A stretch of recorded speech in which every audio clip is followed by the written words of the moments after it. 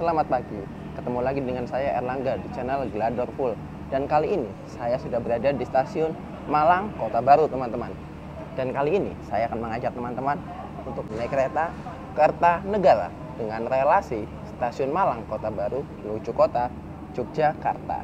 Dan tidak lupa, sebelum kita masuk ke area stasiun, kita harus mencetak tiket boarding terlebih dahulu.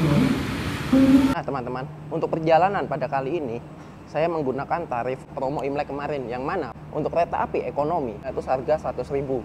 Kemudian untuk bisnis harga 150.000 rupiah dan untuk eksekutif dijual dengan harga 200.000. Dan untuk kali ini kereta api Kertanegara kelas ekonomi premium saya hanya membayar sebesar 100.000 rupiah saja teman-teman. Nah teman-teman di stasiun Malang Kota Baru terdapat sebuah skybridge dan dari sini itu kita bisa melihat pemandangan yang sangat indah. Kita juga bisa melihat banyaknya kereta api yang sedang parkir teman-teman. Nah, ini bisa kita lihat banyak sekali gerbong kereta yang sedang parkir di bawah.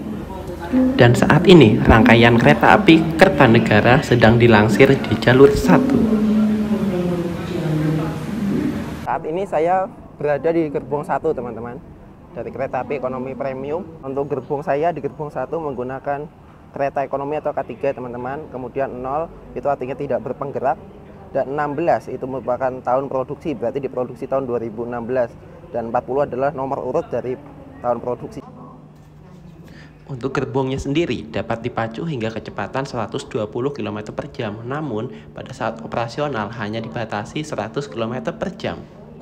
Lokomotifnya saat ini baru proses langsir dan nanti kita akan lihat dari skybridge di atas untuk proses langsirannya. Rencananya tadi saya itu mau lihat proses pemasangan lokomotif, tapi tadi saya ke toilet. Jadinya kereta api negara udah dipasang lokomotifnya. Kalau dilihat dari sini kan tadi proses pemasangan lokomotifnya kelihatan lebih epic. Tapi apa boleh buat udah terlanjur. Dan untuk lokomotif yang berdinas pada perjalanan kali ini menggunakan lokomotif CC206 dari Depo Induk Sido Topo. Dan sekarang mari kita review fasilitas yang ada di dalam. Dan untuk fasilitas yang ada itu ada meja kecil teman-teman untuk menaruh botol ataupun barang berukuran kecil. Kemudian ada stop kontak berjumlah dua. Kemudian seperti biasa ada kantung untuk menaruh barang dan kita diberikan kantong rasa kecil dan di sini ada cup holder teman-teman untuk menaruh botol. Dan kemudian di sebelah kanan itu ada tuas untuk mode reclining seat. Kemudian ada fasilitas tirai kemudian ada gantungan dan untuk kaca yang berada di bagian belakang itu tidak ada fasilitas tirai teman-teman karena terdapat sebuah jendela darurat yang bisa dibuka ketika dalam keadaan darurat. Lalu di bagian atas terdapat rak bagasi penumpang. Kemudian juga ada hand sanitizer. Lalu di atas ada CCTV. Kemudian di bordes juga ada kursi teman-teman. Namun ini kursi untuk petugas ya, bukan untuk penumpang. Kemudian ada kotak P3K, dan untuk sambungan antar gerbongnya sendiri masih menggunakan sambungan karet teman-teman. Dan untuk rute perjalanan kereta api Kertanegara dimulai dari stasiun Malang Kota Baru kemudian berhenti di stasiun Malang Kota Lama Kepanjen, Wulingi, Blitar, Tulung Agung, Kediri, Kertosono, Nganjuk, Caruban, Madiun, Solo Balapan, kemudian ada Klaten ya teman-teman, dan kemudian Yogyakarta yang nanti saya akan turun, kemudian Kutoarjo, Kebumen, Keroya, dan berakhir di stasiun Purwokerto, teman-teman.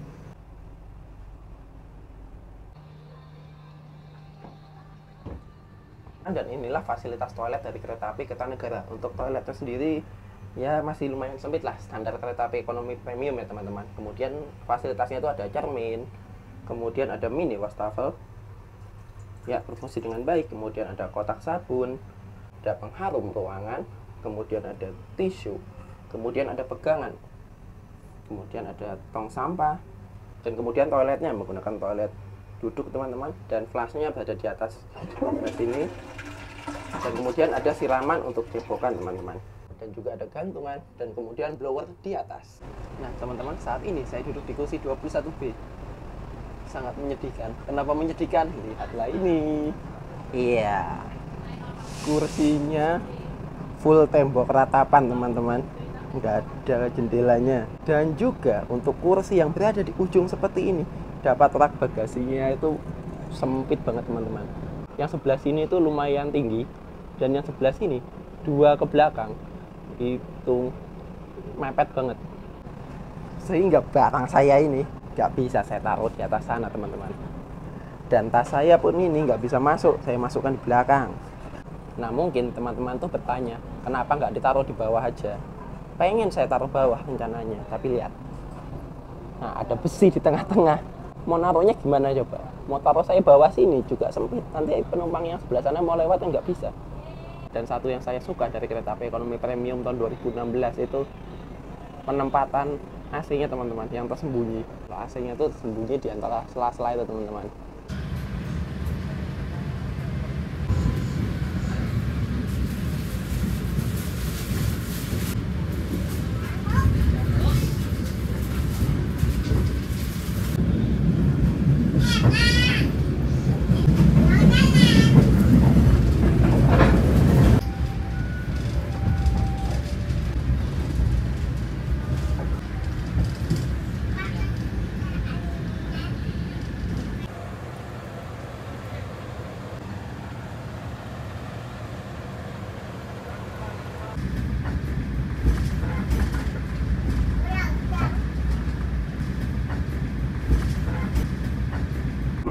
Nah teman-teman, saat ini kereta api Kertanegara sudah berjalan meninggalkan stasiun Malang Kota Lama. Untuk fasilitas kursi yang ada di kereta api Kertanegara ini mirip-mirip dengan kereta api premium lainnya. Nggak begitu keras, tapi juga nggak begitu empuk. Ya sedang-sedang aja teman-teman. Keunggulannya hanya itu bisa di reclining. Nah. Tapi recliningnya pun juga nggak sempurna karena kan jaraknya ini nggak begitu jauh ya. Nah kalau kita memundurkannya itu terlalu ke belakang, nanti kasihan penumpang yang di belakang itu kejepit teman-teman. Oh ya teman-teman, dan di kereta ini juga terdapat dua layar televisi. Namun dari tadi layarnya itu nggak nyala teman-teman.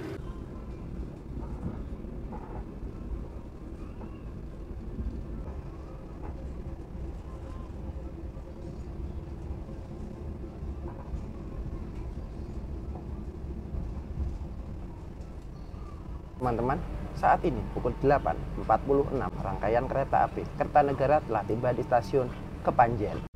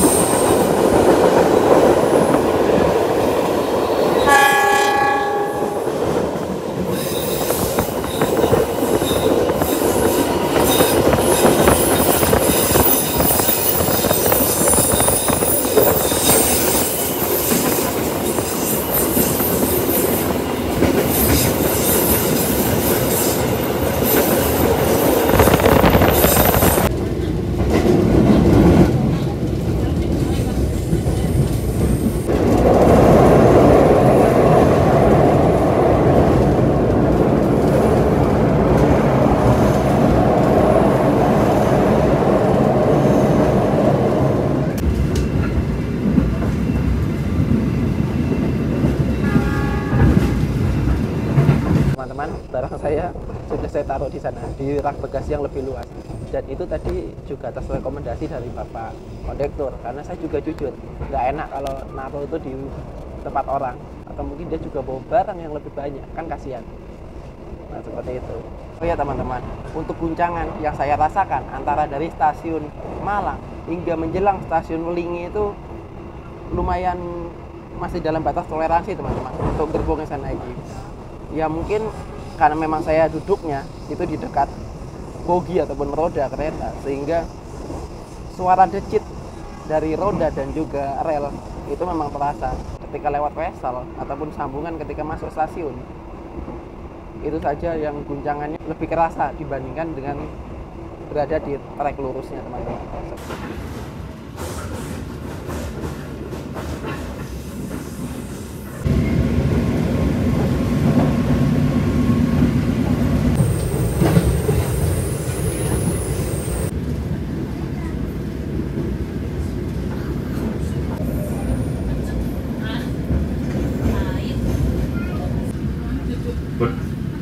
menunggu bersilang dengan kereta api Majapahit. Waktu tunggu sekitar 8 menit. Baik teman-teman, saat ini pukul 9.27 rangkaian kereta api Kertanegara telah tiba di stasiun Wulingi. Saat ini kereta api Kertanegara sedang menunggu bersilang dengan kereta api Majapahit. Ya, dan saat ini kereta api Majapahit bersiap masuk di jalur 2 teman-teman.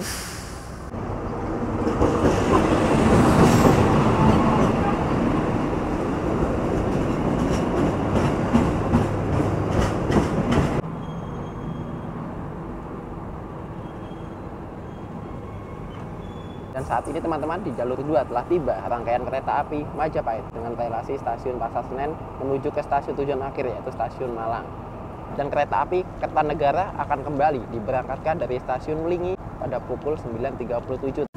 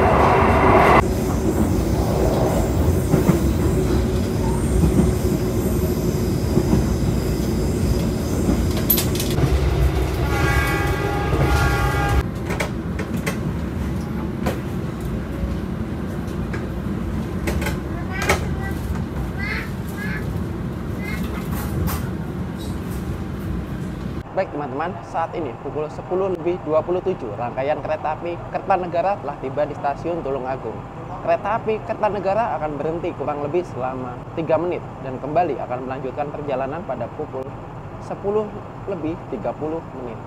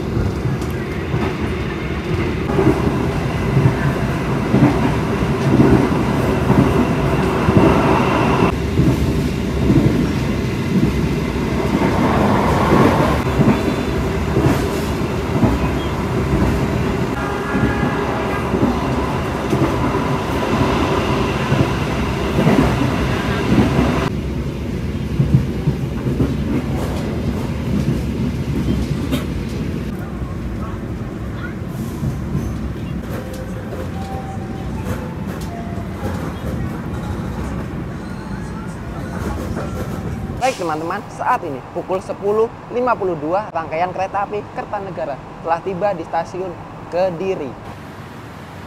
Dan rangkaian kereta api Kertanegara akan kembali diberangkatkan dari stasiun Kediri pada pukul 10 lebih 57.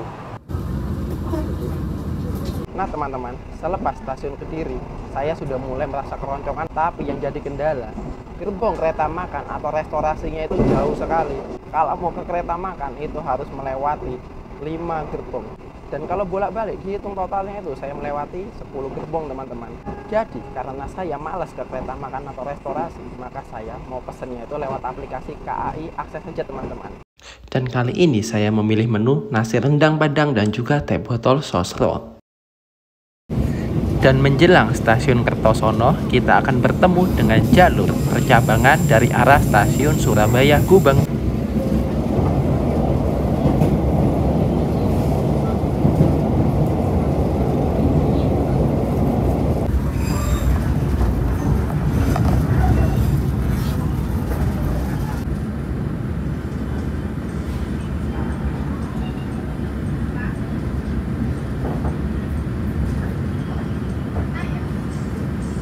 Baik teman-teman, saat ini pukul 11.20, rangkaian kereta api Kertanegara telah tiba di stasiun Kertosono.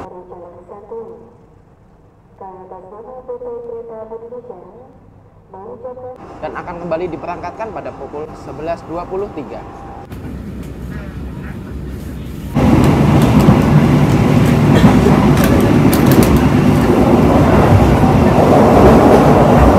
Nah teman-teman, selepas stasiun Kertosono, makanan ataupun pesanan saya sudah datang diantarkan oleh Rami yang sedang bertugas nasi padang dan juga teh botol. Mari kita langsung sikat saja. Nah ini teman-teman pesanan saya nasi rendang padang. Nah ini teman-teman kita mendapatkan nasi kemudian ada daging rendangnya kemudian ada semacam sayur-sayuran. Ini ada sambelnya dua. Oke teman-teman, karena perut saya sudah sangat keroncongan, mari kita sikat nasi rendang padang. By Reska.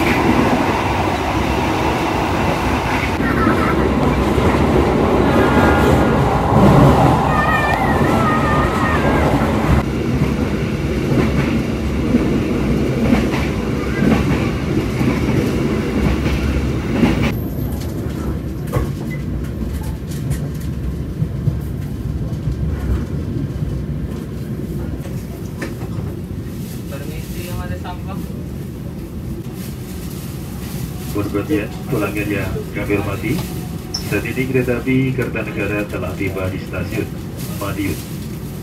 Saat ini kereta api... Baik teman-teman, saat ini pukul 12 lebih 27 rangkaian kereta api Kertanegara telah tiba di pusat Daob 7 yaitu stasiun Madiun. Dan saat ini di stasiun Madiun juga sedang ada proses pengisian air teman-teman. Oh ya teman-teman, di seberang stasiun Madiun juga terdapat sebuah perusahaan yaitu PT Inka yaitu industri kereta api. PT Inka adalah industri yang bergerak di dalam jasa perkereta apian, entah itu membuat lokomotif, bogi kereta, dan segala macam sarana pendukungnya.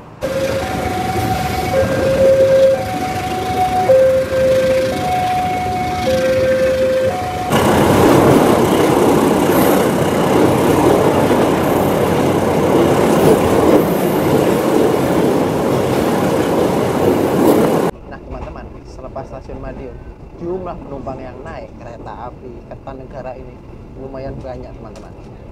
Dan konsekuensinya itu, kursi yang tadinya kosong sudah ada penghuninya alias sudah diduduki oleh penumpang yang memang berhak menduduki kursi itu. Dan otomatis saya harus kembali ke kursi asli saya ini.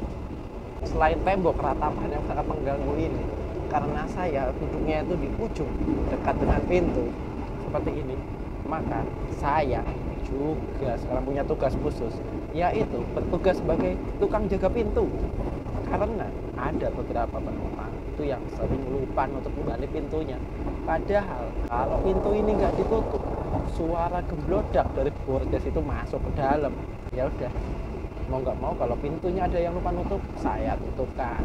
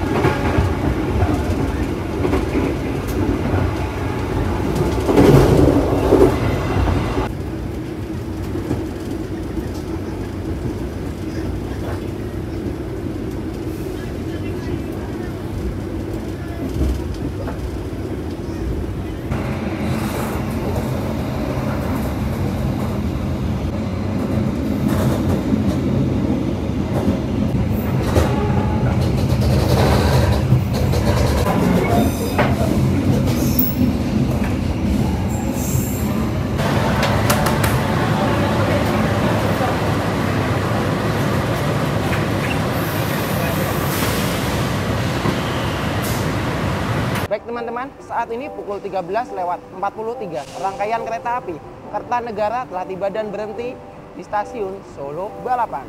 Nah, teman-teman bisa melihat ada bangunan di ujung sebelah sana. Itu merupakan bangunan kereta api bandara. Nah, ini ada rangkaian kereta api Batara Kresna, teman-teman. Entah kok sekarang rutenya ke sana, apa mungkin dijadikan feeder ya, kereta api bandara. Dan kereta api Kertanegara akan kembali melanjutkan perjalanan pada pukul 13 lewat 52.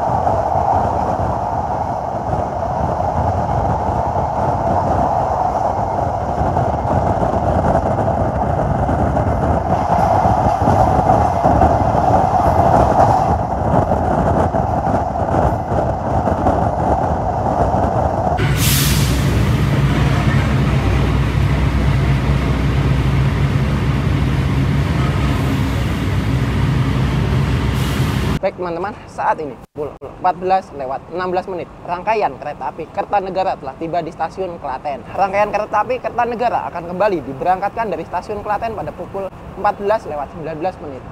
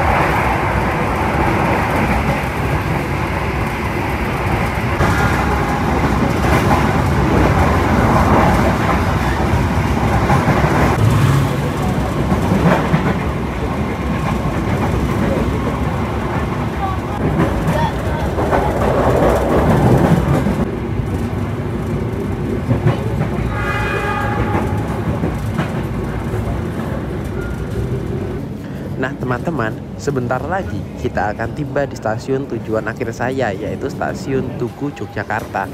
Karena baterai ponsel saya sudah mau habis, oleh karena itu saya akan undur diri dari video pada perjalanan kali ini. Terima kasih karena teman-teman telah menyaksikan video saya dari awal, pertengahan, hingga akhir. Sampai jumpa kembali pada video-video di dalam perjalanan saya berikutnya. Matur nuwun.